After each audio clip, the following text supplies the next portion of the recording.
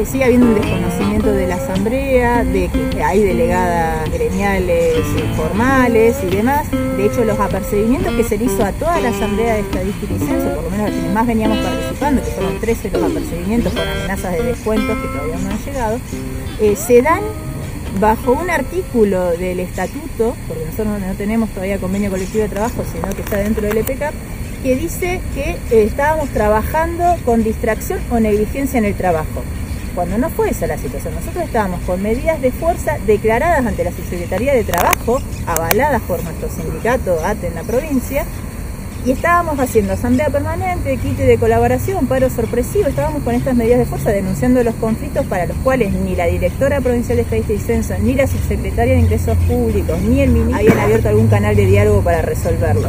Bueno, ellos desconocen estaba ese, ese marco de conflicto declarado legal y dicen no estaban trabajando porque ustedes son negligentes, desconocen el trabajo y con eso fundamentalmente hicieron todas las sanciones disciplinarias es gravísima esa situación porque se desconoce toda la organización y sea, todos nuestros derechos a organizarnos sindicalmente con todos los mecanismos que tenemos hoy los trabajadores y trabajadoras para llevar adelante medidas de fuerza.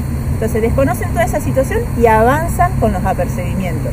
Intentando, o sea, de, hecho al día de hoy supuestamente están firmes esos apercibimientos a pesar de eh, los recursos administrativos que se fueron presentando en contra de estos apercibimientos. Si no, sabemos que el índice de julio va a dar mucho más alto que los que vienen dando y eso va a no sabemos si el, si el gobierno con toda esta situación estará preparando, porque lo que vemos es que la respuesta cambió el gobierno con las respuestas, o sea, se cerraron todos los canales de diálogo, tanto en estadística como en otros sectores, y cada vez hay más policías, en todos los sectores de trabajo, en todos los reclamos aparecen más policía que, que, otra cosa, que respuestas. Entonces creemos que la situación se va a profundizar, va a ser más compleja todavía, va a haber más criminalización de la protesta y en estadística no sabemos qué va a pasar. De hecho, o sea, esto que decíamos recién de que el edificio se mudó, ya no está más acá en la Lordi, el último día que trabajamos acá fue el 7 de julio, que una cosita ahí que no es menor, con todo esto que decía Sole de los, los sumarios que nos hicieron en donde se pide la máxima sanción con causas falsas y demás, eso está acompañado de una serie de informes donde además de todas estas cuestiones de que supuestamente somos muy violentas, que dicen que sistemáticamente no queremos trabajar, cuando en realidad lo que pasó es que nos desplazaron de nuestras tareas, y todo eso que pasó en pandemia, nosotros, por lo menos yo en mi caso, como delegada gremial y como trabajadora de hace casi 20 años del organismo, lo teníamos en los mails institucionales.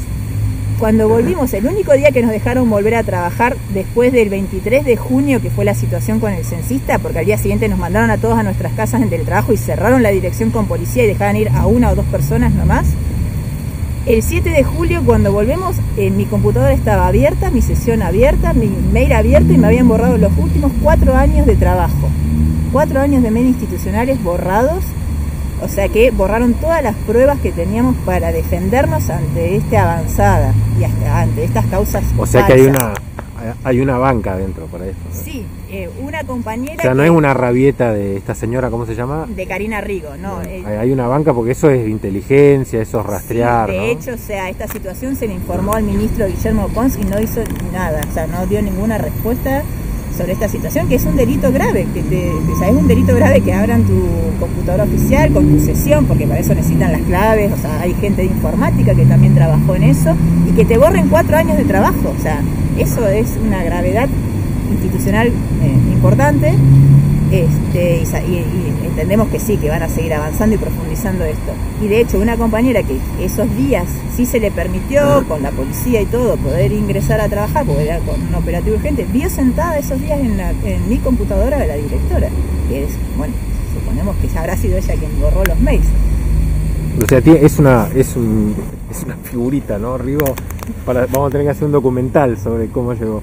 Daniela, eh, no, nos quedamos con re poco tiempo, no, no, no quiero cortar nada. Eh, reiteramos entonces, para seguir el conflicto de cerca, eh, hay mucha información, data y que están casi online, ¿no? Subiendo. Sí, sí, está, bueno, como decía Sol, está nuestro Facebook de Trabajadores con X, Estadística y Ciencia en Lucha, Neuquén y este miércoles vamos a hacer una actividad, la semana pasada hicimos una multisectorial donde vinieron de varios sectores a acompañarnos, estamos recibiendo acompañamientos tanto de la Junta Interna de ATINDEC como de varias direcciones provinciales de estadística y censo en el país y además acá hemos recibido adhesiones y acompañamientos de CEJUN, de ATEN, de Atención Provincial, Capital y de otros organismos estatales.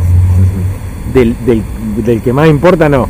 Eh, no, él solamente hasta ahora nos ha firmado los conflictos y nada más. Ustedes tienen otros problemas. Vamos, Nosotros nos vamos, vamos a esperar que el ministro Guillermo Pons sepa de esto. Calculo que en algún momento entre sus clases de pádel o no sé, en el spa, por allá un ratito puedan chequear el correo electrónico y sepan ¿no? que están robando data de las computadoras. Nos encontramos la semana que viene acá con nuestro canal con más Cartago. Hasta entonces.